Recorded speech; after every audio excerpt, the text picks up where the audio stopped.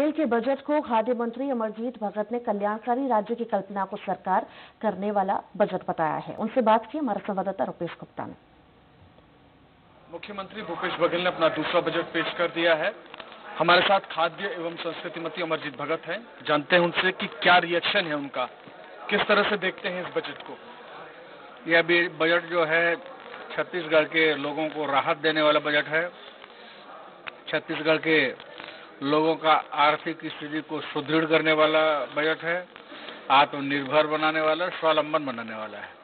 इस बजट में सबसे बड़ा घोषणा किया गया है कि पाँच हज़ार करोड़ किसानों को के खाते में आएगा। आपके विभाग के लिए क्या? मेरे विभाग में ये तो बोल रहा हूँ, जो धान खरीदी का काम है, उसमें अपना विभाग का मुख्य भूमिका रहा और पाँच हज़ार करोड़ किसानों के खाते में जाएगा। किसान स्वावलंबी बनेंगे, आत्मनिर्भर बनेंगे। दूसरा सबसे बड़ा वो है कि यूनिवर्सल पीडीएस सिस्टम लागू किया गया है। सभी के लिए सस्ता राशन का व्यवस्था। बहुत बड़ा कदम है। क्षेत्रीय संतुलन का भी ध्यान रखा गया है। जहाँ बस्तर और सरगुजा क्षेत्र में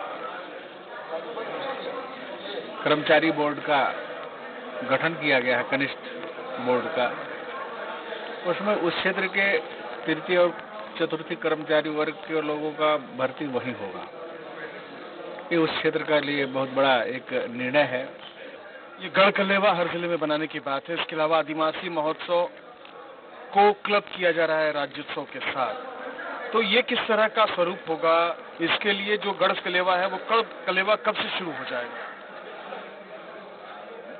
निर्देश भेज दिए गए हैं और मेरे ख्याल से मार्च में लगभग मार्च, अप्रैल में सब जगह शुरू हो जाना चाहिए।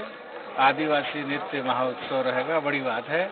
हम उनको बहुत धन्यवाद देते हैं और आदिवासियों के बारे में, उनकी संस्कृति के बारे में एक मान और सम्मान देने के लिए।